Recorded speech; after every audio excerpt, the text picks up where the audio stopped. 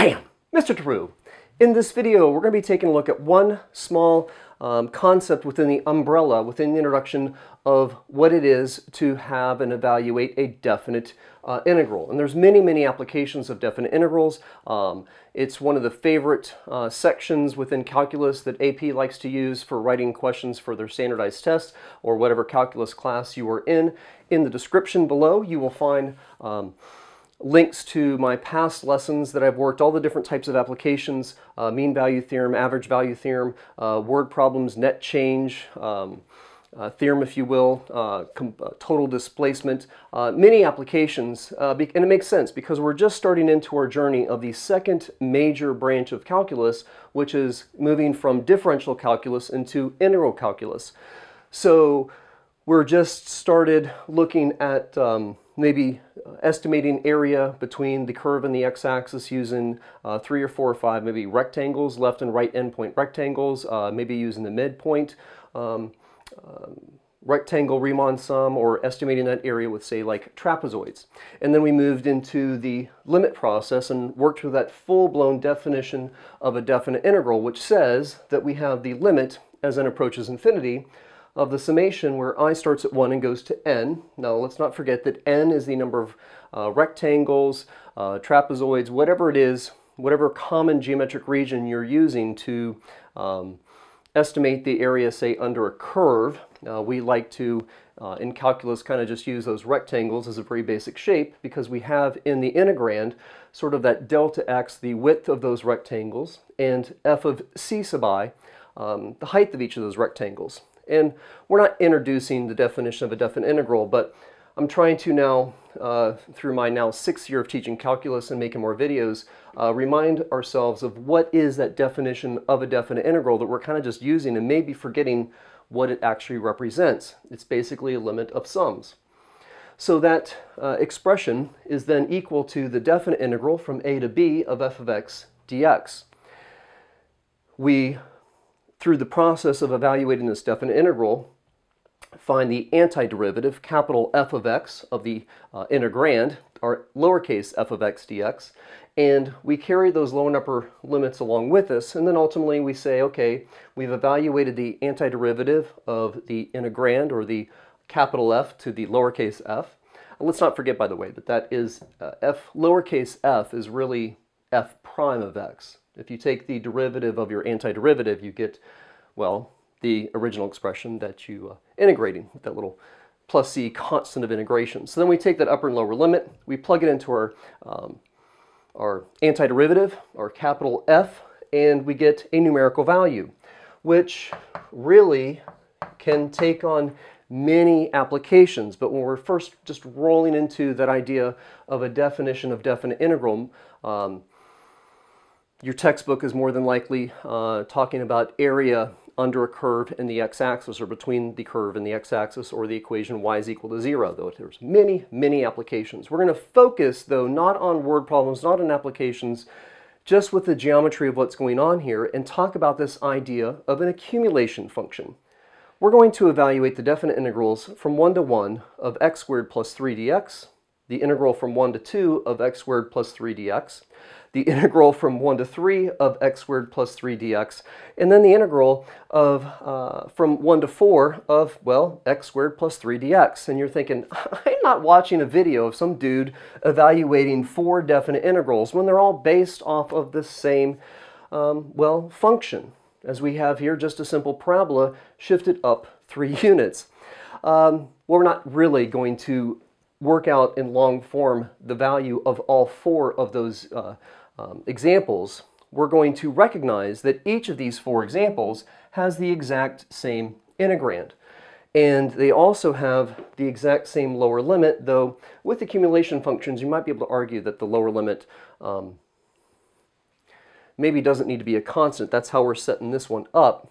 And what I would like to do with this, and, and to get across the idea of what is an accumulation for, it's, it's almost like I want to create an equation that I could then drop into an Excel spreadsheet and allow someone to, in this case, find the area under this parabola um, off of the initial value of 1. Now we could go, I'm moving to the right just to kind of, for uh, simplicity of our examples, we can go to the left or the right from uh, x equals 1 and have this accumulation function be such that I don't actually have to um, start all four of these problems from scratch. I would be able to just have a function which then would tell me what's the area under the curve as we move off of this initial value of x um, of 1. So that if you were making some kind of Excel spreadsheet and somebody wanted the area under this curve, at least if they want the area under the curve um, some distance off of the initial value of 1, they could just plop in that 2, that 3, that 4, or any number indeed that they would like, and out comes a number. They can calculate the area without actually having to know all of the calculus. So you can think of an accumulation function as a way of avoiding uh, maybe repetitive uh, type calculations on the same function. So how do we do that? Well, first of all, let's not remember, or let, let's remember, uh, one of our properties of definite integrals and how it is, at least in fundamental geometric representation, area. Uh, how are you going to accumulate in the area along the, well, this may be, you can, you can integrate along the horizontal or vertical axis, um, but it, how are you going to accumulate in the area along the x-axis, because we have an independent variable of x here and a dx, if you don't actually move left to right? Like the first example, number one, is like, what's the area of this line segment between 1 and uh, 1? Uh, the area of a line, that's a one-dimensional object. The area is equal to zero. Whenever you have a definite integral where the lower and upper limits are the same, the answer is equal to zero. Well, now let's actually focus on these last three examples of 1 to 2, 1 to 3, 1 to 4, indeed 1 to any numerical value that I, that I want. Um, how would we evaluate that?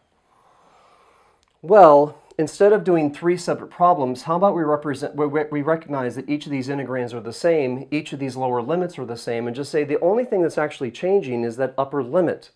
So let's shortcut this process, and instead of talking about all three of these each uh, individually, independently, let's say that we have the definite integral from 1 to x of x squared plus 3 dx. Let's just drop in a variable in that upper limit. Now we do have a little bit of a problem, a little bit of confusion that you can see here maybe potentially developing uh, in this definite integral, which is going to become an accumulation function. That function that's going to allow me to just simply plug in a 2, a 3, or a 4, or any number that I would like actually, and tell me the area under this curve off of the initial value of 1, which is the variables in my integrand are the same as the variable that I've introduced in my um, either could be lower, could be upper, um, or maybe potentially both. But whenever you have a variable expression as one or both of the limits in a definite integral, it's a little bit confusing. So when I write x, am I talking about the variable x, which is my upper limit, or am I talking about variable x, or a variable that is in my integrand? Now also, you have uh, know that when you evaluate a definite integral, as long as the upper and lower limits are constants, you're going to get a numerical value. If you do an indefinite integral, well then you get some function that such that if you take its derivative, you get the integrand. So an indefinite integral gives you function. Um, a definite integral with lower and upper limits, which are constants, gives you a numerical value. In the beginning, it's area under a curve, but it really, depending on the word problem, the application of your, the, uh, to which your calculus is applied to, could be represent anything. Well, anyway, it's confusing to have the variables in the integrand be the same as the variable in the upper limit. And the reason why I came back to this uh, formula here, the variable that's in the integrand is really going to be replaced by whatever values or variables that you plug in from the lower and upper limit. So really in terms of the variable of our final answer, uh, we're kind of getting into the idea as a definite integral as a function as opposed to a definite integral as a uh, numerical value. This is the variable which is going to be the independent variable of our final answer. Thus the variables in the integrand, well, it's confusing to have them be the same and I, so I, I know I said a lot there just to kind of say something simple. What we need to do is introduce a sort of a dummy variable in the integrand. Just anything that's not the same as the variable that you may have in one or both of your limits because it's going to go away anyway. And then you have some clarity when you write variables out. Are you talking about some kind of variable in the integrand or about that upper and or lower limit? So working through now the integration process, uh, using that algebraic power rule, because we don't have any trig going on here, uh, c to the second power, right? You got a variable base fixed exponent. We're just going to raise that exponent by 1. 2 plus 1 is 3, and then divide by that increased um, variable, just kind of like the opposite, if you will, or inverse uh, process you went through, through uh, to in the derivative using the power rule. The integral of 3 is equal, with respect to c, is equal to 3c, and then we have that upper lower limit of x and 1. Now we can go ahead and plug in these values. Um, you know, kind of continue that definite derivative process.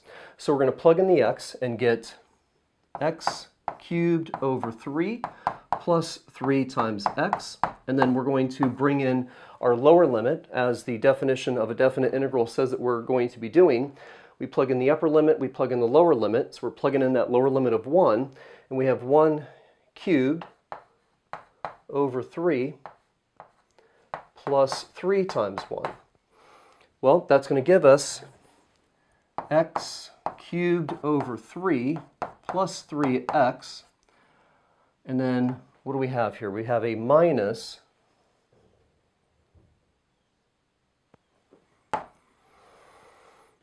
one third plus three, or three and one third. And now what this is going to tell us is the area under the curve, the curve being y is equal to um, x squared uh, plus 3 to the right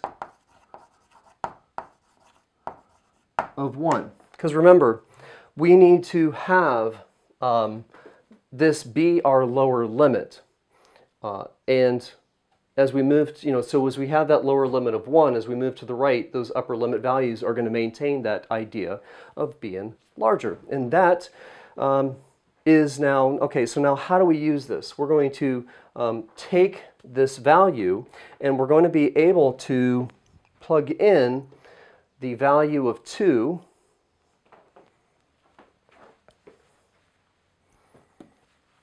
and get the answers, well, to these three problems. So we have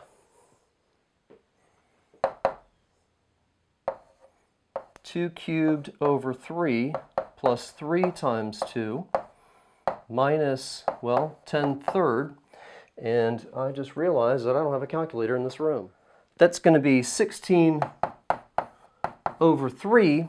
And now we can just simply take, again, that value of 3, plug it into this equation, or, you know, actually go through that process uh, again, and that would give you an answer of 44 over 3. And we can put in a value of 4 and find out the area as we move off to the right of 1, just as we continue to move off to the right and accumulating that area as we go, if we go from 1 to 4, then this total area under the parabola, between the parabola and the x-axis, that total area is going to be equal to, well, at least in terms of area, it would be 30 square units. Now, I'm saying that you're going to get the area under the curve to the right of 1. That's what this accumulation function does.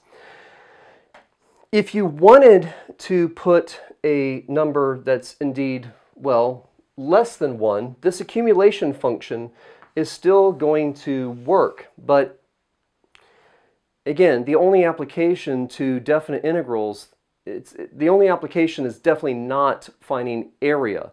Um, it can take all kinds of values. It can take values of positive or negative.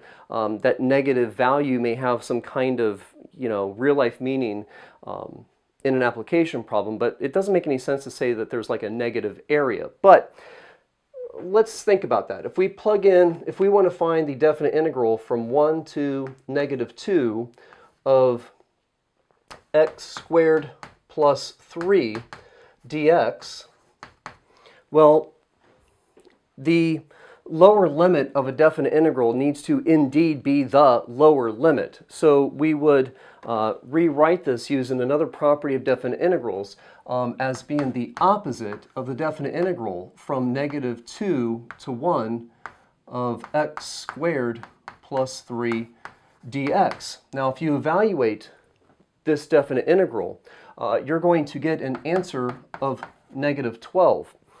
If you plug negative 2 into this expression or this accumulation function, you're going to get an answer of negative 12. Now, what does that mean?